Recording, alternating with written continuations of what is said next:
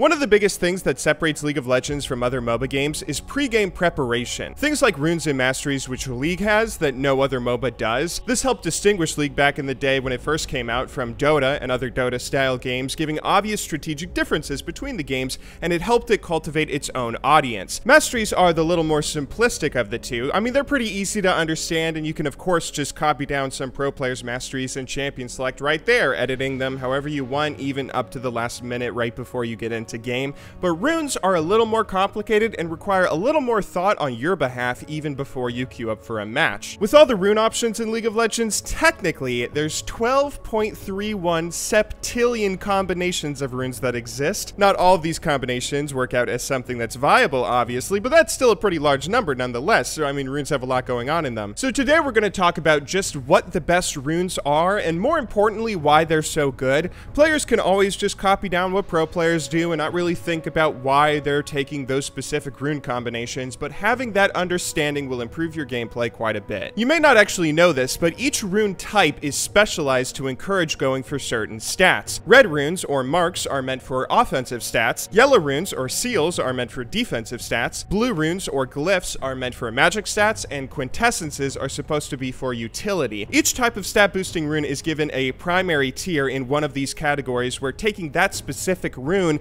will grant you more of a bonus. For instance, if you want armor, you could technically take either armor reds, armor yellows, or armor blues. They exist as separate runes for each of the categories, but while armor yellows will give you plus one armor per rune, armor reds will only give you plus 0.9 armor, and armor blues will give you a measly plus 0.7. This creates a sort of meta around which runes are the most efficient to take in certain combinations. I've thought about doing this video in a number of ways, but let's just go through each one of the most popular and successful runes that players are currently using and highlight what makes them so good and when you should take them. Starting off with the most standard and intuitive of the rune types, let's kick this off talking about marks. Marks generally have three different stats that you'll see most people run, either flat attack damage, magic penetration, or flat attack speed. Way back in Season 1 and early Season 2, most players actually ran armor penetration, or what is now lethality, instead of flat AD. But after a while, a player named Wickd discovered that running flat AD actually gave you more damage than armor penetration.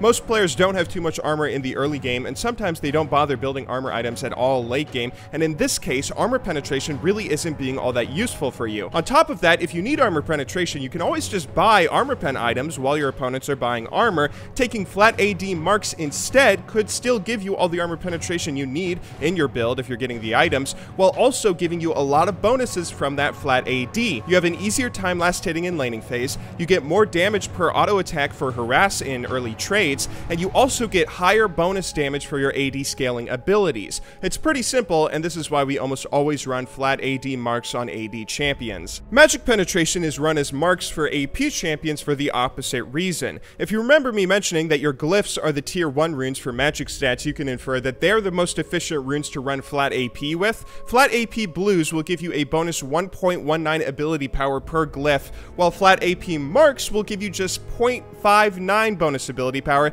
That's half the AP. Most champions start off with a fair amount of magic resistance, and plenty of them have great scaling magic resistance throughout the game, so taking the super efficient magic pen reds is what most mages do. The final rune typically run here is just flat attack speed. This is mostly run either in supplement to flat AD on certain champions that scale well with attack speed, like Kennen, where you'll sometimes throw 3 attack speed marks with 6 attack damage marks together, but more often than not, they're run as 9 attack speed marks on junglers. The reason for it is junglers are almost always auto-attacking non-stop, and if any of you have played RuneScape, you know what that means. In games where you throw out a lot of auto-attacks, it's more efficient to have weapons that throw out more attacks with less damage rather than to have big, huge damage numbers with something that attacks much less often. The consistent auto-attacking gives you a more reliable and overall higher DPS, and this is why in League of Legends, junglers who do nothing but auto jungle creeps early can get more bang for their buck taking attack speed marks rather than flat AD or magic pen. Let's move on to seals. Seals might actually be the least diverse category of runes currently in League of Legends, so let's try to blow through them quickly. We're getting to the interesting ones, don't worry.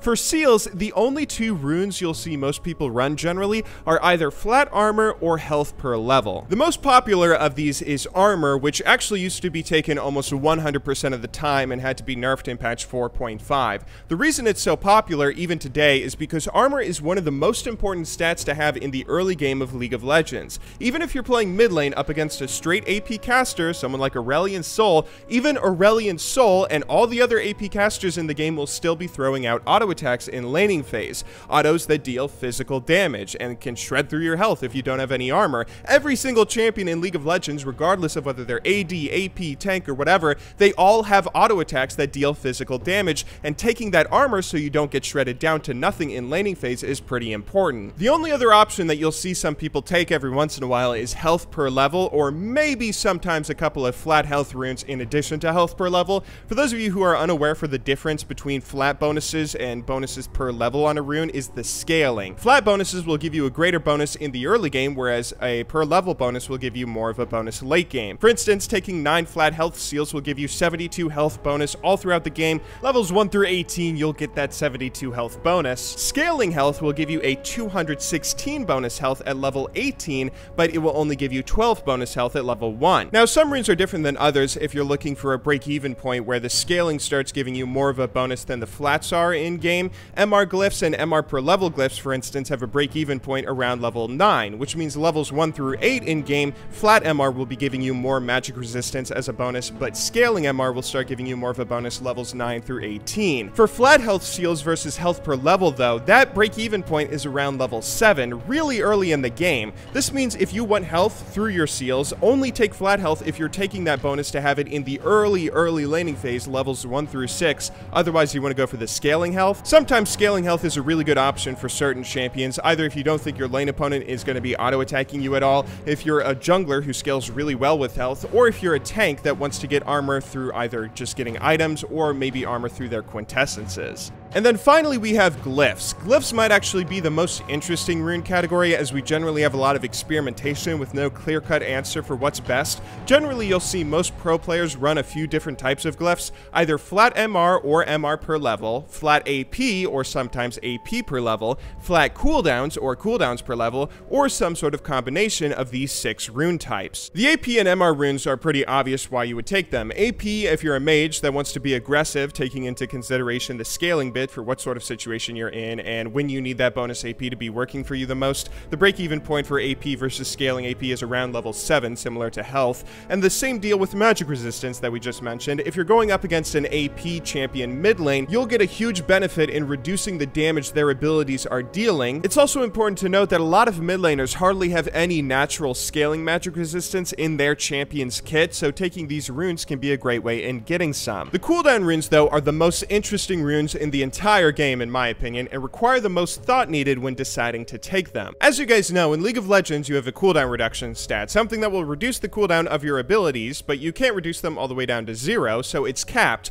The maximum amount you can reduce cooldowns is 40%. There's 31 completed cooldown reduction items in League of Legends, completed as in they aren't some sort of component, they can't be built into anything else, and of those items, every single one of them gives either 10% CDR or 20%. This is interesting because if you're taking scaling cooldown reduction for every single one of your glyphs, then you'll get 15% CDR at level 18. That's an odd number. You can't build 5% cooldown reduction with a finished item in game, so you can't get an even 40%. You'll be playing inefficiently going over the cooldown cap if you try to, which is something that most players will make fun of you for if you do. The other option is taking flat cooldown reduction glyphs, which will give you a flat 7.5% CDR, which is again another odd number that will end up with you wasting CDR and going over the cap if you try and reach the cap of CDR in your build. This is why, generally speaking, players will do one of three things when getting cooldown in their runes. They'll either take all flat CDR glyphs with one flat CDR quintessence to get 10% flat cooldown,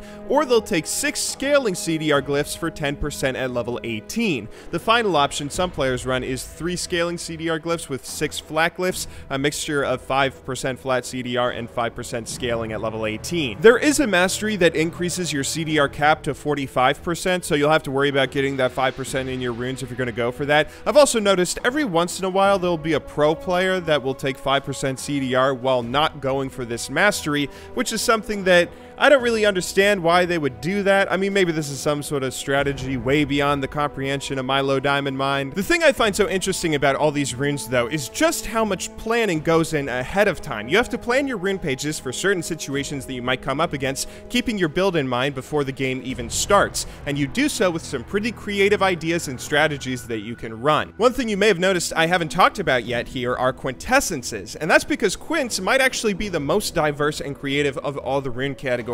There are some stats that quintessences give you that no other rune can, including lifesteal, movement speed, and uh, actually experience. I forgot that was in game. This is where things can get really creative. Like, do you want to take lifesteal to sustain in laning phase? Maybe flat AD for more auto damage? Maybe a mixture of both? Maybe a mixture of lifesteal and attack speed? Or will you need to run a cooldown quint to get your 10%? Or hey, two cooldown quints give you 5%. That's another mixture that you can throw into everything. A lot of the time when you see a player giving a guide for runes and masteries on a champion, they'll tell you the marks, seals, and glyphs that you should be running, but they'll say you can run whatever you want for quintessences is. That's the case for Aurelia, and that's how diverse strategies can be. At the end of the day, you can run whatever you want, and there's a lot of perfectly viable options for champions that I haven't even mentioned yet in this video. Stuff like lethality marks, split pen marks, or attack speed glyphs are all things that you see the occasional high tier player run, all of which are perfectly viable in certain situations. Runes might actually be one of the least understood yet most important areas of League of Legends. Knowing your strategy beforehand, planning it out, and executing it well will help you so much more than just copying whatever a pro player is currently doing